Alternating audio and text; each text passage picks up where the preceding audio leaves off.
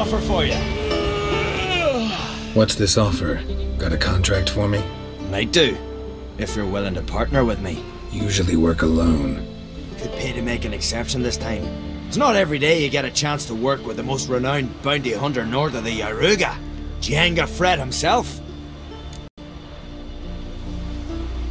I'll bite. What's the famous Jenge Frett need a witcher for? I'm guessing you're a man of the world.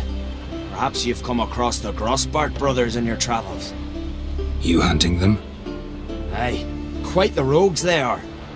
Three of them, and every one's got a pack of rapes and murders under his belt. Even took to grave robbing lately. Easy to recognize on account of the yellow caps they wear. Folks see three yellow tops, they flee to their huts. Which don't help much, of course, because they're also fond of arson. No, haven't met him. If you do, tread careful. They're quick to stick a knife in a man's gut, often just by way of greeting. Doubt they'd try that with a witcher. You never know with that lot.